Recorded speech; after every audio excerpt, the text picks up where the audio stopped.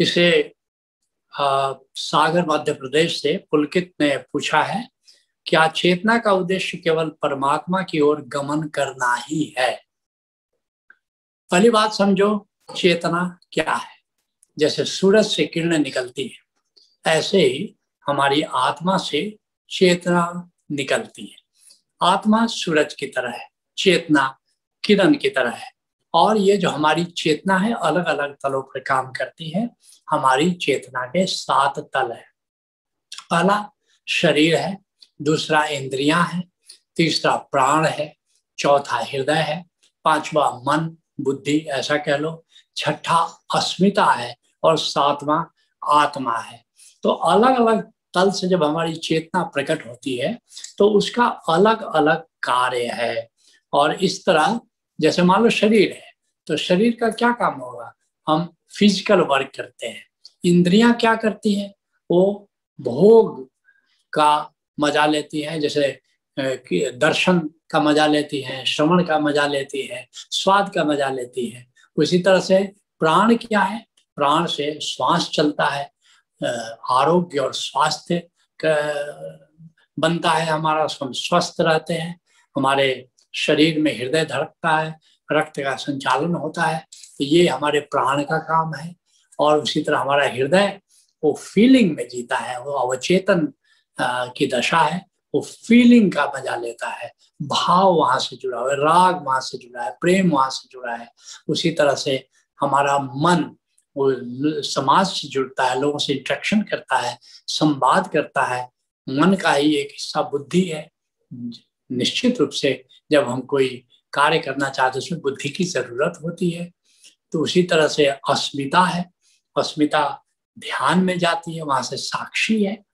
अब तुम पूछते हो क्या पर और फिर जो आत्मा के तल पर जब हम जाते हैं तो शुद्ध आत्मा होने का, प्योर आत्मा होने का हम मज़ा लेते हैं। लेकिन ये जो चेतना छठे तल पर जाती है, वो ध्यान में जाती है, वो समाधि में जाती है।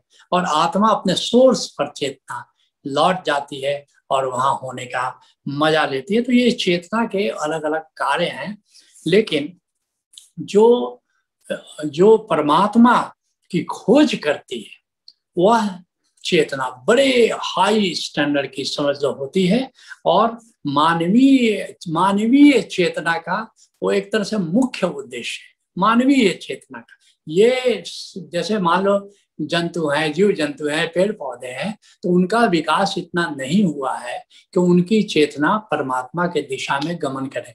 लेकिन अगर तुम मनुष्य योनि में आए हो तो सभी संत कह रहे हैं, सभी संत कह रहे हैं, गुरु अर्जुन देव जी कह रहे हैं भई परापत मानुख देवहरिया और गोविंद मिलन की यह तेरी बड़ी। अगर मनुष्य योनि में आए हो, अब तुम्हारी संभावना भी है, अब तुम्हारी योग्यता भी अब तुम्हारी पात्रता भी है, कि अब तुम परमात्मा को जान सकते हो, अब तुम आत्मा को जान सकते हो, और इस तरह अगर मनुष्य योनि में आए हो तो तुम्हारी चेतना की जो संभावना है तो अपने पूरी संभावना में प्रकट होने के लिए परमात्मा की खोज करो, आत्मा की खोज करो, मुमुक्षा में ज़िंदगी को जियो।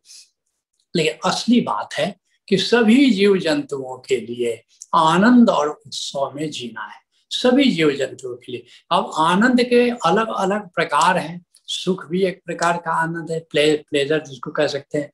उसी तरह से अपना हैप्पीनेस मन के तल पर प्रसन्नता, उसी तरह से हृदय के तल पर प्रफुल्लता है और आत्मा के तल पर आनंद है। तो सभी जीव जंतु तो आनंद को नहीं जान सकते। लेकिन प्लेजर को वो तो सुख को तो सभी जान सकते हैं, सुख में तो सभी रह सकते हैं।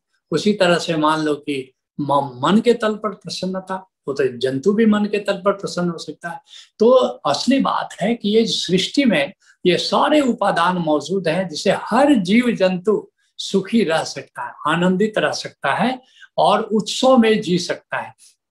ये गजब की बात है कि मनुष्य छोड़ करके सारे जीव जंतु सुखी रहते हैं, खुश रहते हैं। और मनुष्य की संभावना आनंद तक जाने की है, लेकिन वो दुख की ओर चल देता है। क्योंकि मनुष्य ने, मनुष्य को बाकी तो प्रकृति संचालित करती है, बाकी सब जीव जंतुओं को। और ये जो मनुष्य है हाँ इसको स्वतंत्रता दी गई है। कि तुम जिधर चाहो जा सकते इतनी स्वतंत्रता दे दी गई है कि तुम अब आनंद तक जा सकते हो। लेकिन ये स्वतंत्रता का अधिकतर मनुष्य दुरुपयोग ही करता है और आनंद की ओर जाना तो दूर वो दुख की दिशा में यात्रा करना शुरू कर देता है।